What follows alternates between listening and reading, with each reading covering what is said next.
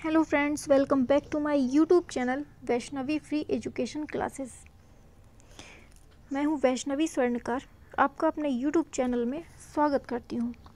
दोस्तों, आज का हमारा टॉपिक है गुप्त काल के प्रमुख मंदिर। कौन सा टॉपिक है? गुप्त काल के प्रमुख मंदिर, ठीक है? तो चलिए बिना किसी देरी के स्टार्ट करते हैं, ठीक है? पहले तो हम आपको टाइमिंग बता देते हैं। सुबह हमारी क्लास होती है एक आठ बजे और एक रात को होती है दस बजे, ठीक है? तो ये दो टाइम आपको इस चैनल पे उपस्थित होना है, ठीक है?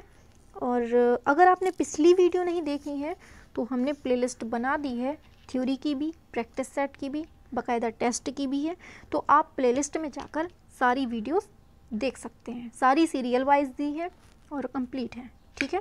और तो चलिए स्टार्ट करते हैं आज के प्रमुख मंदिर में। तो पहला मंदिर आता है भूमरा। कौन सा है पहला मंदिर? एक सेकेंड पहला जो मंदिर है, वो है शिव मंदिर। अरे यार। पहला मंदिर जो है, वो है शिव मंदिर। ये शिव मंदिर कहाँ है? भूमरा में है। कहाँ? नागोद में। और इसका स्थापना वर्ष कब है? ये है पाँच सौ ईस्वी। ठीक है? तो शिव मंदिर कहाँ है? ये है भूमरा नागोद में। और कब होती है स्थापना? पाँच सौ ईस्वी में। ठीक है? दूसरा आता है दशावतार मंदिर। कहाँ है? ये है देवगढ़ में। देवगढ़, ललितपुर में। कहाँ? ललितपुर में। देवगढ़, ललितपुर में है, उत्तर प्रदेश में पड़ता है और ये कब 500 सौ ईस्वी में इसकी भी स्थापना होती है। तो देख रहे हैं? दशावतार मंदिर कहाँ है? यह देवगढ़, ललितपुर में और कब होती है स्थापना? 500 सौ ईस्वी में। शिव मंदिर की कब होती है? भूमरा, नागोद में 500 में। समझ गए? फिर नेक्स्ट चलते हैं। तो नेक्स्ट पॉइंट आता है, विष्णु मंदिर कहाँ है? विष्णु मंदिर, ये गुप्त काल के पढ़ रहे हैं हम सभी, ठीक है? तो ध्यान रखिएगा गुप्त काल के हैं ऐसे ही नहीं कोई भी उठा के रख दिया। तो विष्णु मंदिर कहाँ पर है?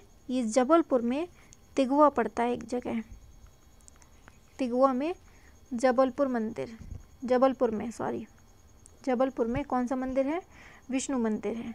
और ये कब बनाया गया था? ये बनाया गया था पाँच सौ ईस्वी में। ठीक है? फिर नेक्स्ट आता है। नेक्स्ट आता है लक्ष्मण मंदिर। कहाँ है? करिए कमेंट और लक्ष्मण मंदिर की विशेषता क्या है?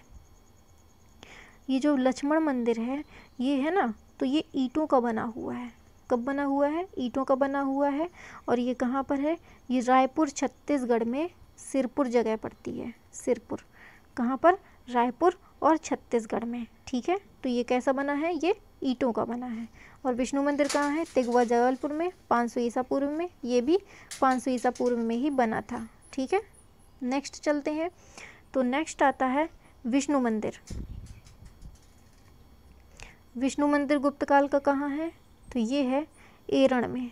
ये कहाँ पड़ता है? ये सागर जिला में मध्य प्रदेश में पड़ता है और इसको भी कब बनाया गया है?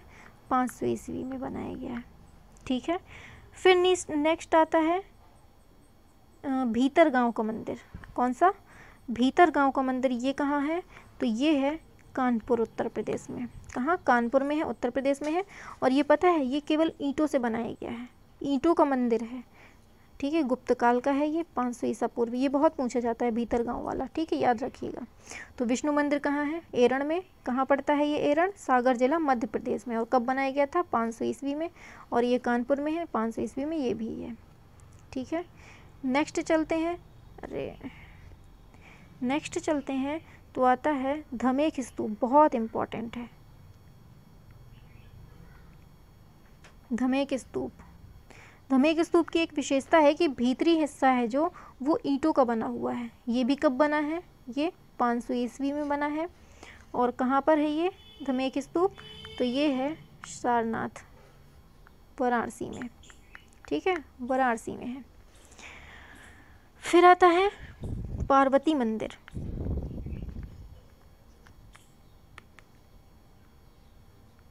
ये कहाँ पर है? ये नचना कुठार में है। नचना कुठार कहाँ पड़ता है? ये पड़ता है मध्य प्रदेश में पन्ना ज़िले में। मध्य प्रदेश के पन्ना ज़िले में। तो धमेक स्तूप कब बनवाया गया? 500 में। और सारनाथ मंदिर कहाँ है? वाराणसी में। और पार्वती मंदिर कहाँ है? नचना कुठार में। कहाँ पर? मध्य प्रदेश में। और ये कब बनवाया गया था? ये छः सौ ईस्वी में। ठीक है? फिर नेक्स्ट चलते हैं। तो नेक्स्ट पॉइंट आता है नालंदा। नालंदा कहाँ है? ये बिहार में। और इधर पर कौन सा मंदिर है? यहाँ पर मंदिर या स्तूप जो भी है तो ये है बौद्ध महाविहार है। बौद्ध महाविहार, ठीक है? तो ये भी कब बनवाया गया? पाँच सौ में। समझ में आ गया होगा? तो नालंदा बिहार, बौद्ध महापरिवार, ये। तो यहाँ से तो यहाँ से हमारे गुप्त काल के मंदिर या स्तूप कंप्लीट हो जाते हैं। ठीक है? तो जिसने, जिसको भी अगर वीडियो पसंद आ रही हो तो वीडियो को जल्दी से लाइक करिए, दोस्तों में शेयर करिए और चैनल को सब्सक्राइब करिए। ठीक है? तो चलते हैं, मिलते हैं नेक्स्ट वीडियो में। ठीक है? बाय